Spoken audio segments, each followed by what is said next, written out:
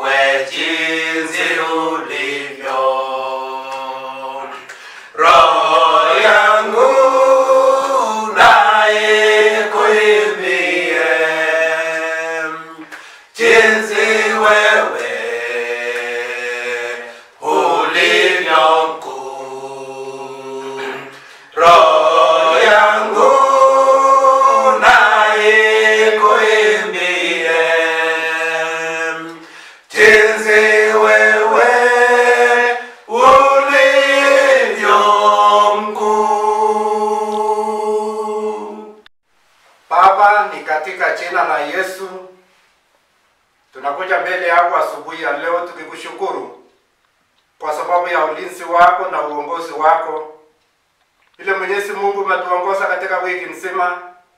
Asante Baba kwa sababu umetuonekania katika wiki hii mpaka tumekutana tena asubuhi ya leo kwa ajili ya ibada ya leo. Asante Baba kwa sababu ya baraka zako, umeweza kutubariki kila mmoja wetu. Asante kwa afya nzuri. Asante Baba kwa sababu umekuwa pamoja nasi. Naendelea hata Mwenyezi Mungu kukumbuka wachungaji. Nataka hata nikumbuke Mwenyezi Mungu wazee wa mama, vijana na hata watoto. Kwa hivyo tunajiachilia kwako ili Mungu uweze kutubariki. Nakuja mbele yako asubuhi ya leo nikitaka hata kuomba kwa ajili ya kanisa letu katika Kenya mzima, katika uh, area yetu, katika hata region yetu na hata DCC yetu mpaka kanisa. Kwa hivyo Mungu uendelee kutuonekania katika baraka zako. Asante Baba kwa sababu utaenda hata ku- ku- kuponya nchi yetu, utaenda Mwenyezi Mungu kuonekana nchi yetu. Nataka hata niombe kwa ajili ya viongozi, nataka niombe president na tribute wake na katika cabinet ministers wote mpaka hata senate. Mwenyezi Mungu waonekanie, utubariki tukiwa kanisa, bariki bishop wetu, bariki wachungaji wote, ili Mwenyezi Mungu tunapoendelesha kazi yako utatuonekania na hata utatubariki Mwenyezi Mungu. Mungu we pamoja nasi mpaka tumalize ibada yetu ya siku ya leo. Tukimaliza tutasema Baba, tumekuona. Utubariki, utuonekanie katika jina la Yesu aliye mwombezi wetu. Amen. Naenda kusema sala ya Bwana. Hmm. Baba yetu aliye mbinguni, jina lako litukuzwe, ufalme wako uje, mapenzi yako yatimizwe hapa duniani kama huko juu mbinguni. Utupe leo riziki yetu, utusamehe makosa yetu kama tunavyosamea waliotukosea, msitutie majaribuni, bali utuokoe na yule mwovu, kwa kuwa ufalme ni wako na nguvu na utukufu na hata milele. Amen. Nitaenda kukaribisha mchungaji uh, Pastor Ken Kipto akuja atusomee neno na akaribishe mhubiri ya siku ya leo. Karibu mchungaji. Uh, our readings today is from the book of Hebrews, chapter 10, and verses 26 through 31. It says, If we deliberately keep on sinning after we have received the knowledge of the truth, no sacrifice for sin is left, but only a fearful expectation of judgment and of raging fire that will consume the enemies of God. Anyone who rejected the law of Moses died without mercy on the testimony of two or three witnesses. How much more severely do you think a man deserves to be banished who has trembled the Son of God underfoot, who has treated an only thing, the blood of the covenant that sanctified him, and who has insulted the Spirit of grace? For we know him who said, It is mine to avenge, I will repay. And again, the Lord will judge his people. It is a dreadful thing to fall into the hands of the living God. God bless you.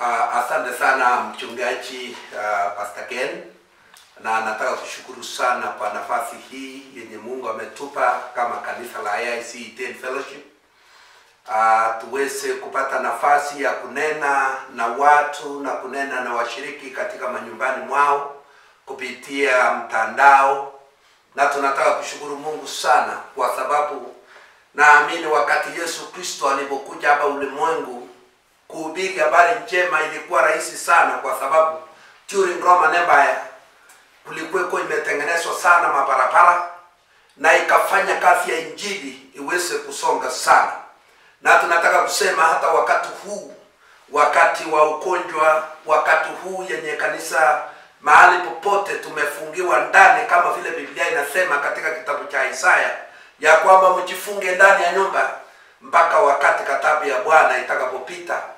Kuna njia yenye Mungu tayari ametengeneza ya mtandao ya kuwafikia watu katika jamii zao. Nataka kushukuru Mungu kwa siku ya leo ya kwamba Mungu ametupa kibali hii. Neno la siku la leo kulingana na vile tumesoma katika maandiko kutoka kitabu cha Waebrania mlango huo wa kumi mstari tulisoma mstari wa 26 hadi ishirini na na moja. Neno kubwa ya siku ya leo, the theme of the day, nataka tujifunze juu ya kitu naitwa changa changa au disaster. Disaster ni kitu kingine ya ajabu. Tukiongea juu ya changa tunamaanisha nini? Inamaanisha nini tukiongea juu ya changa au disaster au calamity? It is a certain calamitous event. Tunapoongea juu ya calamity, tunapoongea juu ya disaster au changa, tunaongea juu ya a disasters kitu ambayo inalete inalete inalete shida. It is an event. It is very certain. Si kitu yenye mtu anaweza kufikiria ya kwamba itatokea. Na ina, na inaweza kuleta create damage inaweza kuleta damage inaweza kuleta hasara mingi loss destruction inaweza kuleta misfortune inaweza kuleta failures katika maisha ya mtu binafsi katika jamii katika community katika nchi hata katika dunia nzima. Wandugu zangu tuko sasa katika nyakati ya disaster moja ya ugonjwa yenye imeleta mambo mengi sana katika dunia hii. Imesababisha hasara mingi katika dunia. Hata hii ni ajabu kwa sababu unaona ya kwamba hata na kanisa imefungwa kwa sababu ya hii this kind of a disaster. Lakini ningependa kutaja two types of disasters. Kuna disaster moja inaitwa the natural disaster. Natural disaster ni ile ina relate na what we call ecosystem without modification or adjustment or human error. Kuna disasters kuna changa inaweza angukia watu kuna changa inaweza angukia jamii kuna changa inaweza angukia nchi kuna changa inaweza angukia dunia kwa sababu ya maumbile kwa sababu it is very natural. Huwezi kusema ya kwamba hii kitu imeingia kwa sababu ya kitu fulani. Imeingia tunaita it relates with the ecosystem without modification without adjustment or without human error. Hiyo ndio tunasema there is that kind of a disaster yenye inayotangukia jamii. Na na mnaelewa wandugu zangu kuna hata mikosi zinaweza kuingia kwa watu. Hata tukienda katika kitabu cha job job alipata disaster. Mpaka marafiki zake wengine wakasema ndugu ndugu job kuna kitu. Hii disaster inaweza kuwa imetokana na dhambi imetokana na kitu kingine. Lakini ayubu alikuwa akisema jameni mimi ni mkamilifu mbele ya bwana this kind of changa hii haitanifikia kwa sababu nimetenda dhambi. Yes it was a self justification kwake. Lakini tunashukuru mungu kwa kijana mmoja anaitwa eliu. Akaambia job wewe you do not have a right kujustify wewe mwenyewe ya kwamba wewe una shida. Na wala marafiki zake pia hawangekuwa na haki ya kuweza kumhukumu hayupu ya kwamba yeye alikuwa tekosi ya ile disaster tunapoongea kwa ndugu zangu juu ya kisasa, kuna ya pili ile tunaita consequential disaster. A disaster yenye inaingia na consequences. Inaingia kwa sababu watu wametenda vitu vitu kiasi fulani. Na hatujui ugonjwa hii yenye imeingia katika dunia. Hatujui kama ni is it natural or is it a consequence leo hii dunia imesimama. Dunia dunia kila kitu imeharibika. Imeleta destruction. Imeleta damage. Hata katika nchi kubwa kubwa. Lakini tunaulizana swali. Je hii janga hii disaster je isi yani inaweza tokana na consequences or error of a human being au is it natural? Hii ya, ya consequence ina kuna causes yake. Kosi yenye ningependa kutacha hapa ya kwamba what causes constitution uh, consequential or conse- ile constitution kind of a disaster. Ni nini ina cause jambo la kwanza is suppressing the truth. Wakati wanadamu wanafinya ukweli. Tukisoma katika kitabu cha warumi katika kitabu cha warumi chapter 1 verse 18 biblia anasema na nitasoma kwa lugha hii ya kiingereza romans chapter 1 verse number 18 biblia anasema the wrath of god is being revealed from heaven against all god, godlessness and wicked men who suppress the truth by their wickedness. Hapa tunasikia ya kwamba shida yenye inawezaangukia watu mikosi yenye inawezaangukia nchi yenye inawezaangukia jamii inawezaangukia mtu binafsi ni kwa sababu ya kusuppress the truth. Kufinya ila haki ya mungu. Kuweka ila haki ya mungu chini. Biblia anasema katika kitabu cha proverbs haki huinua taifa. Lakini dhambi ni aibu kwa watu wote. So ndugu zangu tunaposema leo tukiona hii disaster yenye imeingia katika dunia tunataka kujiuliza swali. Je is it natural or it is a consequence hao ni jawabu ya tangu hao ya hera ya mwanadamu. Hapa tunaambiwa ya kwamba asira ya mungu katabu ya mungu imekuwa revealed it is revealed from heaven against the godliness against the wicked men. Watu ambao wanasuppress the truth by their wickedness. In verse 19 nasema since what may be known about God since the creation of the world, God invisible qualifies his eternal power and divine nature have been clearly seen by under, and understood from what has been made so that men are without excuse. You know, sometimes wanadamu wanaanza kuwa wajeuri kwa kuleta methodology zao zingine, kwa kuleta some adjustment vitu zingine. At the end of the day, na analeta disaster kwa sababu watu ambao wanaanza kukurudisha kurudisha na kufanya vitu ambayo haieleweki vizuri. Ukisoma katika maandiko haya biblia anatuambia ya kwamba this kind of people wana exchange ile the natural things ya mungu. Wana exchange ile vitu yenye ina very natural. Ukisoma katika maandiko haya unasikia biblia anasema wanawake wanaanza kubatilisha ile natural way ya ya wanaume ya kuoa kuolewa na mwanaume wanaenda the unnatural way ya wanawake kwa wanawake kuoana.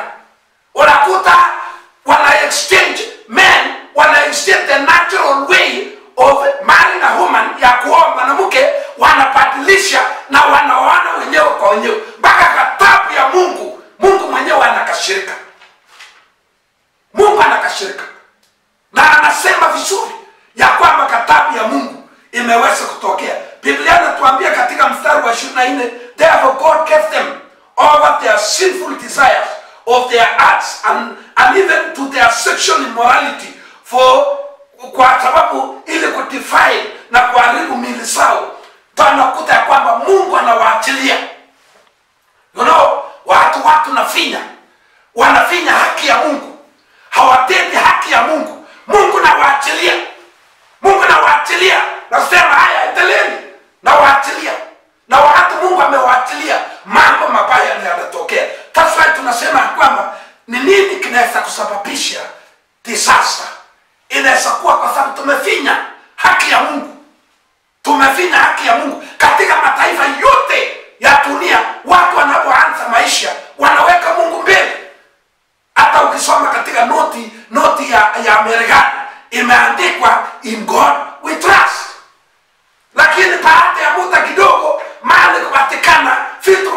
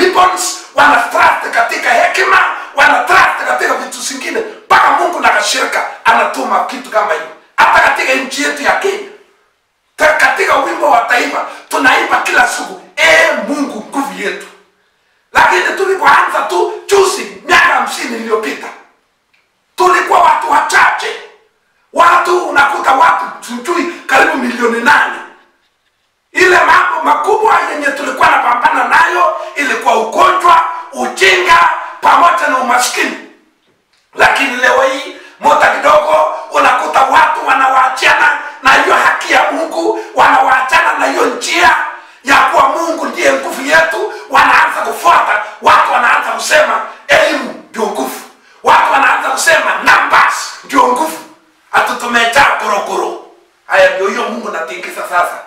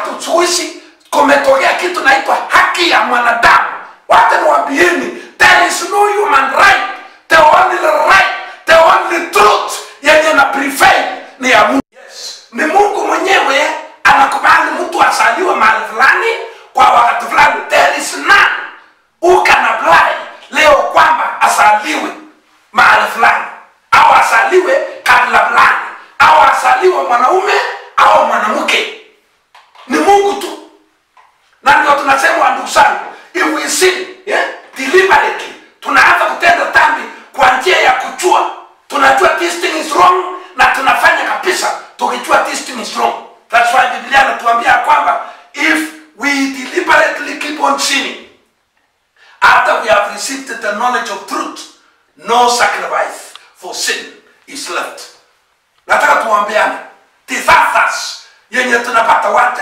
Kuna ya international ya dunia mzima kama hii sasa ya corona imeingia katika dunia mzima.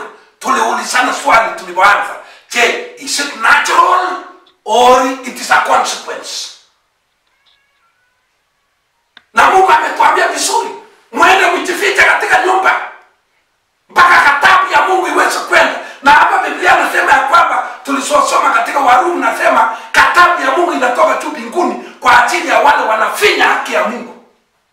Na hapa tumesema ya kwamba Biblia anasema katika Waebrania, kama tutaendelea kutenda dhambi kimakusudi, hakuna there is no other sacrifice remain but only a fearful expectation of judgment and a raging fire. So nataka tuombeane ya kwamba ndugu zangu, kama vile Biblia anatuambia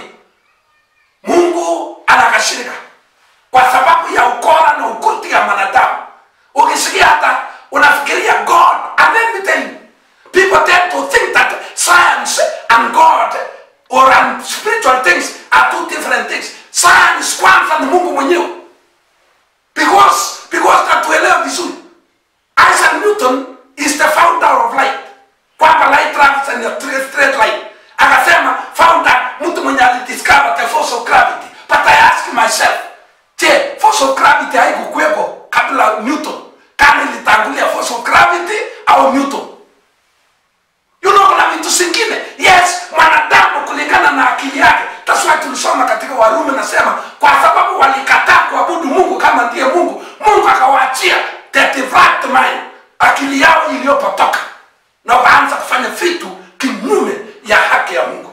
Ombi langu ya kwamba wandugu zangu turudie mungu.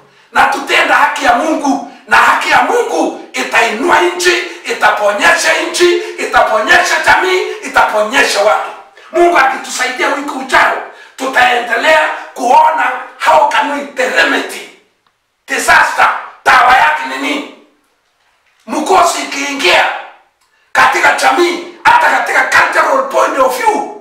Mkosi ikiingia katika jamii changa ikiingia katika jamii watu hufanya nini? Ili tuweze kupona na tuweze kuishi na kuelewa kila mmoja kila mwanadamu is wonderfully and fearfully made kila mtu ana haki ya kuishi mahali popote na kukula na kufuta hewa na kuishi kama mtu mwingine bila kukuwa discriminated bila kuwekwa kando ombi langu ni kusema kwamba yes ugonjwa hii ya korona imetufungia katika manyumba. Lakini iwe time ya kusat mioyo zetu. Na tujiulize swali je is it disastrous? This disaster is it consequences of sin? Or it is natural? Ndio swali. Ya hiyo ndio swali. Tunataka kusema ya kwamba do you think it is natural? Do you think it is a consequence of sin? Na kama ni consequences of sin hakuna dawa ingine. Na mungu atatusaidia. Wiki ujao tutakuja kuona dawa yake ni nini. Na mungu atubariki sana. Tuombe. Baba mwenyezi tunakushukuru ya kwamba mungu katika maandiko unanena na mioyo zetu.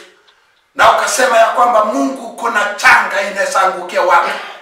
Hata ukasema katika maandiko ya kwamba mungu wakati watu wako watakapopotoka na kuachana na njia zako na kutotii mungu ukatuambia katika kitabu cha kumbukumbu la torati mlango wa ishirini na nane tukisoma mungu tunaambiwa ya kwamba utaweza hata kutuma mfike utatuma ugonjwa utatuma homa utatuma mungu hata ukame katika nchi hata watu kutosa mungu kwa sababu wanadamu wamepotoka na kwenda mbali kwa njia zako mungu tunaomba ya kwamba uturehemu na utusamee ili tuweze kutenda haki yako na hiyo haki itatuinua itainua jamii zetu itainua nchi yetu itainua dunia itainua kanisa lako kutoka utukufu mmoja hadi lingine. Kwa sababu haya ni maombi yetu katika jina la mungu baba la mwana na roho mtakatifu. Amen. Nataka kusema ya kwamba mbarikiwe sana mungu awasaidie mungu awainue. Mnapokuwa huko nyumbani msianza tena kukaa katika vituko ya tofauti tofauti kwa sababu mchungaji yuko pamoja na wewe. Unaanza kukaa wengine hata unasikia unaanza kwenda kibarua unaanza kwenda kazi unaanza kuwa mkristo tena ambaye unakuwa careless. Let us not live a careless life. Tuweze kuwa watu hodari let us do the right thing na mungu wetu atatuinua. Amen wenzetu mahali popote mlipo uh, ni wakati mwingine ambapo tunashukuru mungu kwa sababu ya somo ambalo tumesomewa na tumepata mahubiri kutoka kwa askofu wetu david kipsoi uh, ni wakati mwingine pia ningependa kuchukua nafasi ya kipekee ya kutoa matangazo Uh, na tangazo la kwanza ni shukrani kwa washiriki wetu wote mahali mlipo, mahali mlituma pesa, tunashukuru sana. Kwa hivyo kama ungependa kuweka pesa zako kwa simu, paybill yetu ni 862 862. Account number ni 18459301 Transnational Bank. Pia nitarudia, paybill number yetu ni 862 862. Account number 18459301 Transnational Bank. Pia jambo la pili ningependa pia ku- kuwaelekeza kwa matoleo yenu ya shukrani, matoleo ya sadaka, matoleo ya fungu, matoleo ya kwanza na kila jambo ambalo ungependa kubarikisha kazi ya Mungu kwa paybill yetu ya kanisa ya local church ambaye ni 522 522 account number 111 2930 477 nitarudia. Akaunti yetu ya local church ni 111 2930 477 Uh, utabarikiwa zaidi unapomtolea Mungu na tunatumai ya kwamba mtashirikiana pamoja mkiwa nyumbani mkitutazama na mkituombea kwa jambo hili la uh, mahubiri. Uh, jambo langu la mwisho kwenu watazamaji, mahali popote mlipo hapa duniani, hapa Kenya, hapa Iten, hapa kaunti yetu ya Elgeyo Marakwet na haswa katika local churches yetu katika area yetu ya Elgeyo Marakwet ni kwamba be strong in the grace that is in the Lord Jesus Christ. Because this is a time that we should not assume, we should always be strong in the grace that is in the Lord Jesus Christ. God bless you, God uplift you.